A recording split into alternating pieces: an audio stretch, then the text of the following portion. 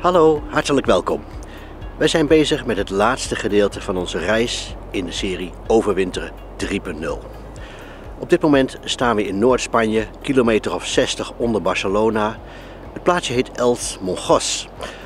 We staan op een camperplaats, een officiële camperplaats. Die is 1 kilometer van de snelweg AP7.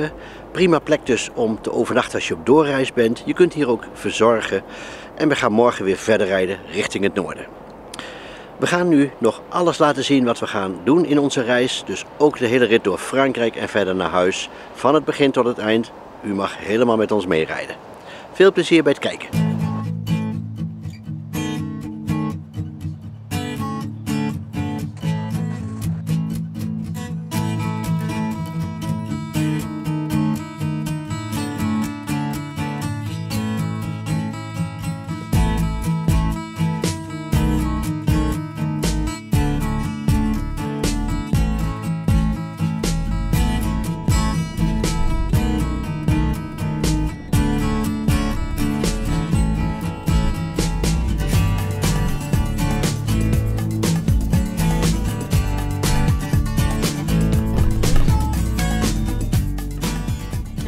De rotonde de tweede afslag naar N260. Zie je de Pyreneeën daar? Ja, Sneeuw hè? helemaal uh, sneeuw op, hè? Ja. Maar ja, we zitten natuurlijk ook vlak bij Frankrijk. Nou, vlak bij de Pyreneeën eigenlijk hè? De tweede afslag. Ja, dat klopt. Spannend hè? Ja. Kunnen we daar onderdoor? Nou, zo groot zijn we nou ook weer niet. 500 meter linksaf naar Culatede de Luispaalde. Boulevard aan Hoepel. Rijd de rotonde op. We hebben geen Concorde hè? Nee, dat is waar.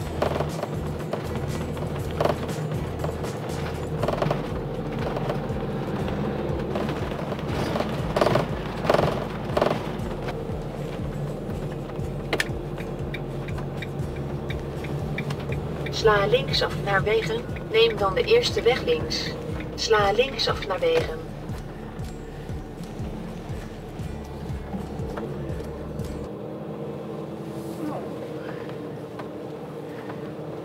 Drukker dan gedacht hè? Ja, echt wel. En je kan ook niet meer op de gewone parkeerplaats, zie ik.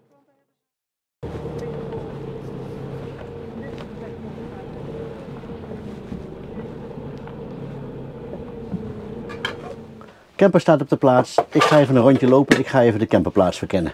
En wat ga jij doen? Ja, als jij de camperplaats gaat verkennen, ga ik beginnen met koken. En dat was ook een kijkersvraag. Koken jullie eigenlijk wel in de camper? En wassen jullie af in de camper? Nou, dan denk ik, ja, waarom niet? We hebben een mooi fornuisje met drie pitten. Ik heb een fijne wasbak. En eh, ja, ik doe eigenlijk alles. Nu ga ik spaghetti maken. En dat betekent veel groenten snijden, veel bakken. Ja, prima, dat doen we. Want eh, ik denk dan, daar is het ook voor gemaakt. Ik wou net vragen, wat eten we vandaag? En dan had je waarschijnlijk gezegd, dat zie je wel. Nou, maar nu weet ik het. Ja, nu is het geen verrassing meer voor jou. Nee, nou, Goed, maar ik ben wel even aan het snijden, dus je hoeft je niet te haasten. hier zien we de verzorgingsplaats. Zoals altijd ook weer prima voor elkaar. Je kunt hier je grijs water lozen, je toilet kun je lozen. En je kunt drinkwater innemen. En dat werkt zo te zien met een kaartje. En het kost 1 euro voor 5 minuten water. Ik zie hier, je mag hier 48 uur staan en er zijn maximaal 6 plaatsen. Dus als ik het goed heb, dan staan we dus niet goed. Dan moet je eigenlijk hier staan. Ik zie daar een bord staan aan de voorkant van de camperplaats. En er staat in, je mag maximaal 48 uur staan. Ja? En er zijn maximaal 6 plaatsen. Oké, En dat zijn die plaatsen daar. Dus waar we hem eerst neer hadden willen zetten, dat zijn de officiële plekken. oké. En Dus als je hier blijft staan, dan zou... eh, Ik heb eh, het idee om toch te gaan verplaatsen. Ja? Ja, Oké. dan staan we op de officiële plek. Ja. Goed. Ik zet even het spul uit en ik zet het even vast, zodat het niet kan verschuiven. En dan gaan we hem direct verzetten. Goed, daar gaan we.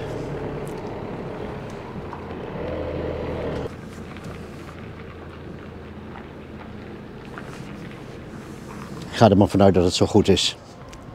Mooi plekje toch? Bijna alles gesneden. Het staat al lekker te pruttelen. Kwartiertje nog en dan kunnen we eten. Dat ziet er weer heerlijk uit. We gaan lekker eten en dan gaan we het stadje even in. Doen we.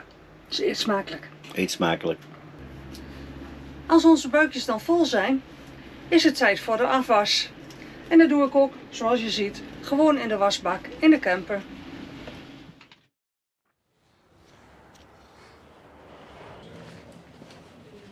Zoals we wel vaker doen, zijn we weer naar de VVV gegaan en hebben een plattegrondje gehaald. Hiermee kunnen we de stad verkennen.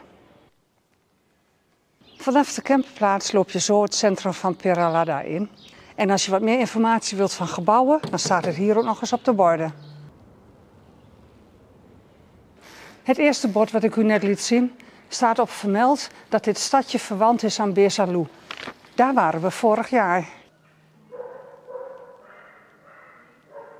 Tot 1285 was dit plein een grote open ruimte binnen de stadsmuren. Toen is er echter een brand geweest en bij de herbouw vond men dat er belangrijke gebouwen geplaatst moesten worden. En sinds de 14e eeuw bestaan dus deze gebouwen met de bogen, met daar het gemeentehuis. In de loop der jaren zijn ze natuurlijk verschillende keren gerestaureerd, maar het ziet er nog echt middeleeuws uit.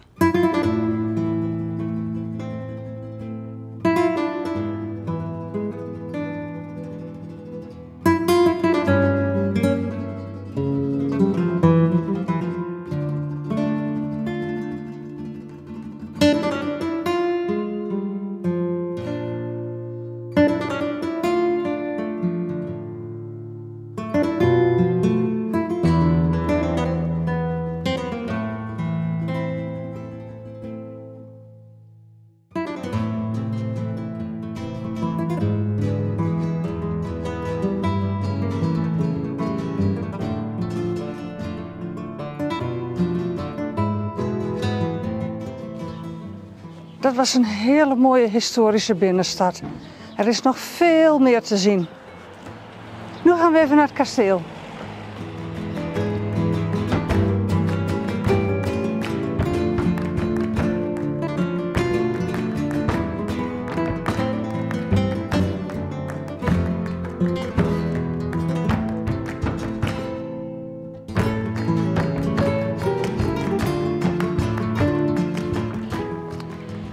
Kasteel ziet er van buiten prachtig uit.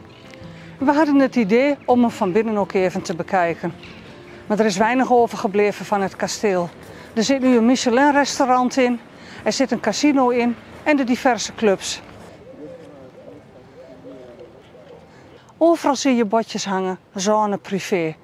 Zelfs het park kunnen we niet uit. Het is wel jammer hoor dat zo'n stukje cultuur niet meer toegankelijk is voor iedereen. In onze vorige video zag u dat wij liepen te kou kleumen. Vandaag is het tegengestelde aan de orde. Ik dacht ik doe mijn vestje nog even aan tijdens de wandeling. Maar het voelt wel aan als 20 graden. Het is heerlijk weer.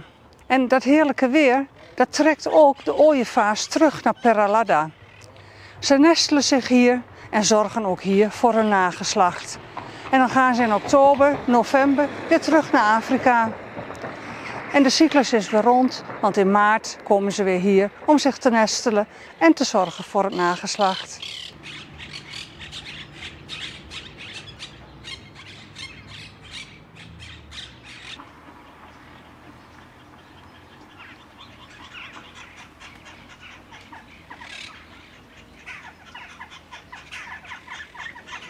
Toen we net de plattegrond haalden bij de VVV, kwamen we in gesprek en vertelden we dat we hier met de camper staan. En de jonge man van de VVV vertelde ons dat de hoogtebalken die je hier ziet er nog maar pas zijn. Want er liep hier de spuigaten uit met het parkeren van campers. Officieel is de ruimte bestemd voor zes campers. Maar zoals u achter me ziet, er wordt weer heel dicht op elkaar geparkeerd. En de jonge man vertelde ook nog, ze zijn bezig om balkjes tussen de plekken te maken om te zorgen dat we toch allemaal veilig blijven staan. Ons advies is: kom op tijd, dan heb je de meeste kans op een plekje.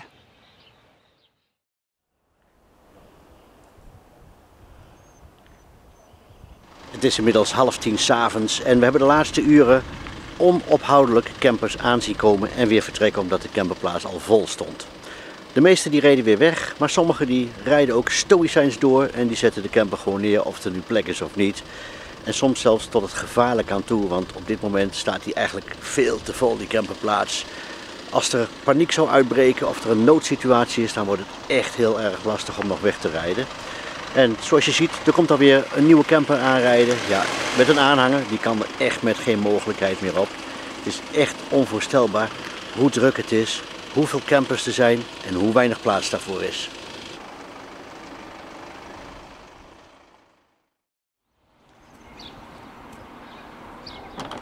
Zo, dat was een koude nacht zeg. Het heeft net niet gevroren, maar het scheelde ook helemaal niets. Maar het is heerlijk knus in de camper, lekker warm onder de dekens, dus niks van gemerkt. En nu zijn we de camper aan het opwarmen met de kachel. Als dat klaar is, dan gaan we zo meteen rijden. We gaan vandaag Spanje verlaten. Het is niet anders. We gaan de Pyreneeën over, we gaan Frankrijk in. En ik weet nog niet precies waar we gaan stoppen, net zo lang tot we geen zin meer hebben. Maar ik ga eerst even het toilet leeggooien en dan ga ik gelijk even een kijkersvraag beantwoorden. En dan ziet u op het kaartje waar we naartoe gaan. Wij krijgen regelmatig de vraag, wat voor papier gebruiken jullie in het cassettetoilet? En die vraag die ga ik nu beantwoorden. Om te beginnen, wij gooien het papier niet meer in het toilet. Vroeger deden we dat wel en toen we dat nog deden, toen kochten we het dunste papier wat er te verkrijgen is. En dat hoeft helemaal niet dat speciale Tedford toiletpapier te zijn, want dat is natuurlijk hartstikke prijzig. Als je naar de supermarkt gaat en je koopt het eh, dunste papier, dan gaat dat best wel goed in je toilet. Maar op een gegeven moment kwam ik erachter dat het veel handiger leeggooien is van je cassette als je het papier niet in je toilet gooit. Zal op de een of andere manier toch net een soort van verstoppingje soms voorkomen. En vanaf dat moment zijn we het emmertje gaan gebruiken. Een Tupperware emmer, een zakje erin en een deksel. En gewoon het normale papier wat wij het prettigste vinden. Dat papier gaat in het zakje het emmertje, gooi ik dagelijks even leeg. En dan hebben we er helemaal geen omkijken naar. Met het dekseltje erop is het ook gewoon super hygiënisch. En het toilet is heel handig leeggooien. Dus mijn tip is, gooi het papier niet in je cassette, maar doe het in een emmertje met een zakje. Dan is het veel handiger leeggooien. En dan heb ik nog een tip. Die heb ik trouwens al een keer gegeven deze serie, maar ik doe het nog een keer. Dit verzorgingsstation heeft geen spoelwater. En ik wil wel graag mijn toilet even omspoelen. En daarvoor gebruik ik het vuil water uit onze vuilwatertank. Dus ik ga altijd eerst het toilet leeggooien. Dan weet ik zeker dat ik nog vuil water heb. Dus dat gooi ik niet als eerste weg. Dat gebruik ik als spoelwater. En dan is het toilet weer helemaal gebruiksklaar.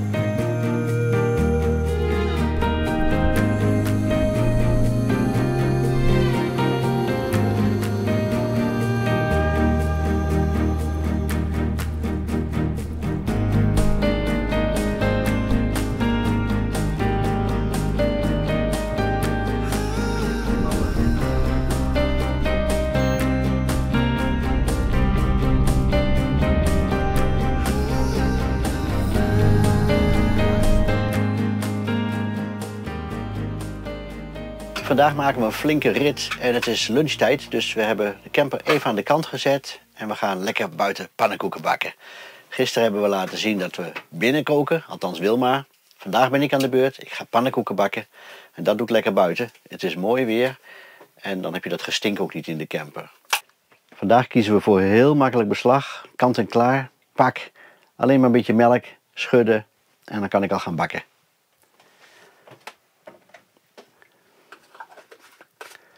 Shake it, baby.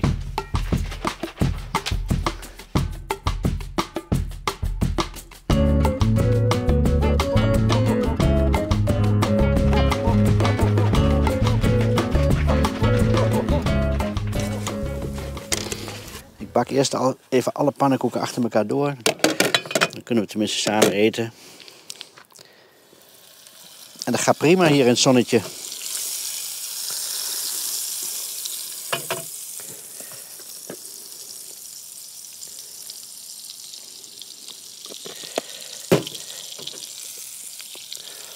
We rijden dus op de A75, kilometer of 100 onder Milau. Of ik moet het zeggen Mio, als ik het goed wil zeggen in het Frans. Wij zeggen altijd gewoon Milau, maar het is dus Mio.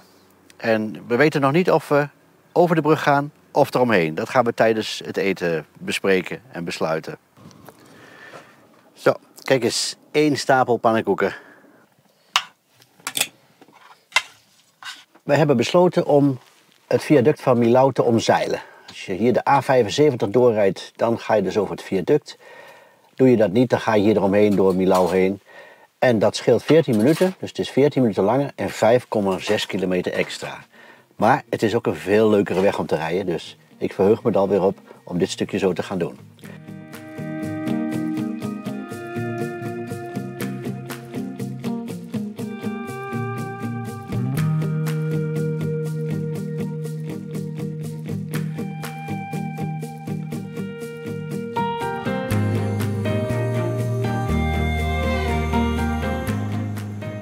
We zijn gestopt vlak voor Mio, want hier is een prachtig uitzichtpunt. Weet ik ook nog van vorig jaar.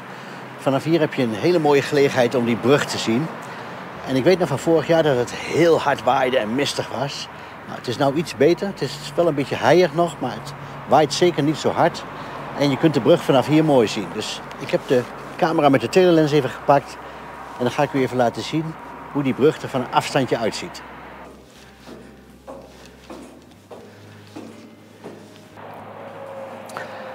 Ja, als je dus deze route neemt, dan moet je zeker even stoppen hier en naar die brug kijken.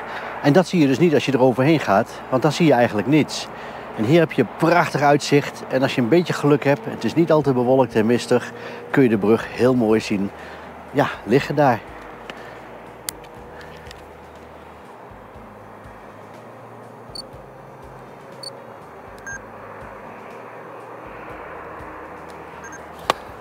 Nou, ik heb een shotje gemaakt. Ik hoop dat het wat is, want het is behoorlijk heilig, dat wel, maar gelukkig waait het niet zo hard als de vorige keer.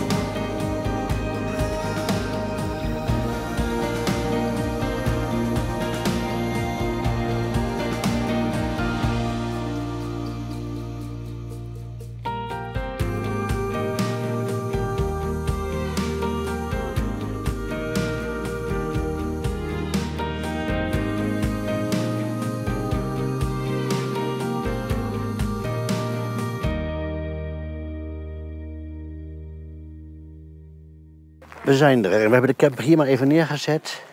En dan gaan we even een rondje lopen. Kijk eens, Wilma die pakt sneeuw. We zien zelfs nog sneeuw in deze reis. Het is koud hier.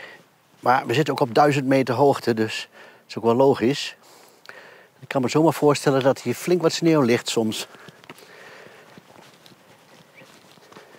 Nou, daar hebben we gelukkig vandaag geen last van gehad. Je nou echt helemaal rustig wilt staan, ja, dan zullen we daarboven moeten gaan staan. Ja, dit zijn natuurlijk prachtige plekjes en daarom staan er natuurlijk ook bordjes omdat iedereen hier wil staan. Maar ja, deze plekjes zijn gereserveerd voor klanten van het restaurant.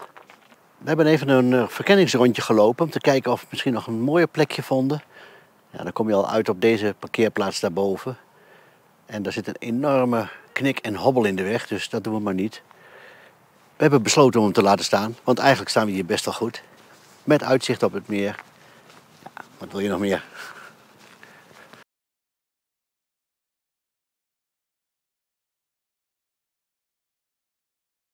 Kijk eens wat een uitzicht achter mij. Fantastisch hè. Het lijkt ook alsof ik midden in dat meertje hier sta. Dat is niet zo, want ik sta gewoon op een steiger, helemaal aan het einde. Maar het is wel een fantastisch uitzicht zo. Deze plek, terwijl de zon nog lekker even door begint te komen, nog een kwartier en dan is die onder. Maar deze plek die ligt vlak bij de snelweg A75 en dat maakt hem natuurlijk ook weer uitstekend geschikt om op doorreis hier te gaan overnachten. Het is eigenlijk ook niet meer dan een overnachtingsplek, want je hebt hier verder geen verzorgingsmogelijkheid. Er is wel een vuilnisbak, maar dat is het dan ook. Dus je moet echt zorgen dat je alles aan boord hebt. Maar het uitzicht en de rust is fantastisch hier.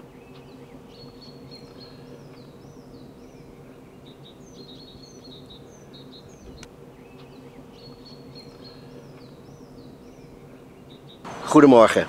Het is snijdend koud. Het is min 5 graden. En de kachel die draait op volle toer om die camper lekker warm te krijgen. Maar wat een heerlijke nacht hebben we gehad.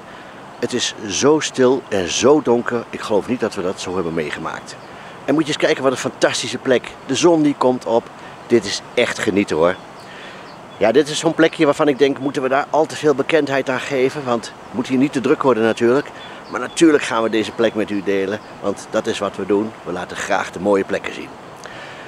We gaan vandaag verder rijden. We gaan het laatste stuk van onze reis rijden, want het is mooi weer. De verwachtingen voor de komende dagen zijn wat minder, dus hoe meer kilometers we maken, hoe beter. En het laatste gedeelte van onze reis, dat gaan we laten zien in de volgende en laatste aflevering van Overwinteren 3.0. Maar we zijn er nog niet. We gaan deze video afsluiten met een terugblik op de camperroute die we gereden hebben van Baskenland naar Algarve.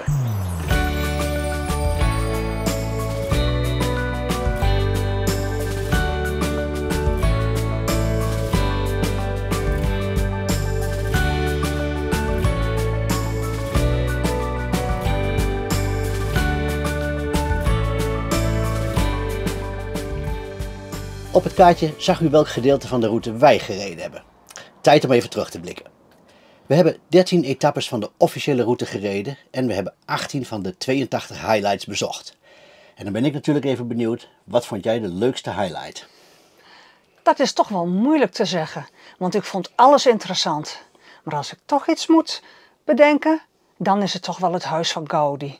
En het bezoek aan Fatima vond ik ook heel erg mooi. Ja, dat was inderdaad ook heel mooi hè? Ja. ja, ja. En wat vond jij dan het leukste? En wat vond jij leuk om te rijden? Nou, de rit, dat vond ik met afstand de rit door het Picosgebergte. Het was best wel een beetje spannend in het begin, maar ik had het echt voor geen goud willen missen. Wat zijn de voordelen van een route van Camper Contact? Je krijgt een kant-en-klare route, inclusief voorgestelde etappes, rustdagen en highlights. En vijf overnachtingslocaties in de buurt van jouw dagbesteding. Met één druk op de knop kun je alle locaties in de buurt zien en daarop filteren. En je krijgt tips voor highlights waar je waarschijnlijk zelf gemakkelijk aan voorbij gereden zou zijn. Het is trouwens mogelijk om vanuit de app rechtstreeks naar een highlight te navigeren. Omdat je niet in een groep rijdt, kun je de route in je eigen tempo en volgorde rijden. In je gebruikersprofiel vind je de PDF van de route. Deze kun je printen en daar bijvoorbeeld je eigen aantekeningen of tips bij schrijven. Je kunt afwijken van de route om bijvoorbeeld een deel met veel bergwegen en bochten te vermijden. En dat hebben we een keer gedaan, kan ik me herinneren. Dat klopt. Waar moet je rekening mee houden als je de route, net zoals wij, in de herfst of in de winter wilt rijden? Buiten het seizoen is het lastig om een camping te vinden die nog open is. Vrije camperplaatsen met verzorging zijn er voldoende te vinden. Tip: met Campercontact Pro kun je bij het zoeken naar een locatie filteren op jouw reisperiode. De resultaten tonen dan alleen locaties die in de door jou geselecteerde periode minimaal één dag open zijn. De kans op minder goed weer is vooral in het noorden groter in de herfst en in de winter. Voordeel is dat het dan rustiger is. Er zijn minder toeristen. Daardoor is er meer plaats op de camperplekken en kun je highlights die normaal erg in trek zijn zonder vooraf te reserveren bezoeken. En dan de tijd. Als je de route in 30 dagen wilt voltooien, is het een pittig schema met veel kilometers in relatief korte tijd. Als je de tijd hebt, loont het om rustiger aan te doen en gelukkig kan dat met de route. De route dient immers ter inspiratie. Je bepaalt zelf hoe lang je erover doet. De route is niet één op één in een navigatie in te laden. Als je de route exact wilt rijden, zul je enige voorbereidingen moeten doen. Wij hebben voorafgaand aan elke etappe de wegnummers en belangrijke plaatsen opgeschreven en met het boek op schoot van de bijrijder genavigeerd. Wat vonden wij nu eigenlijk van de route? Nou, het was best pittig om het schema te rijden volgens de voorgestelde etappes. Erik zei het net al. Wij hebben daarom de etappes opgedeeld in wat kleinere stukjes, omdat we tijd genoeg hadden. We hebben daardoor ook meer overnachtingen en rustdagen ingebouwd. De highlights vonden we erg leuk om te zien. Maar naar de Picos de Europa hadden we even genoeg van de vele bochten en hebben we een stukje van de route zelf aangepast.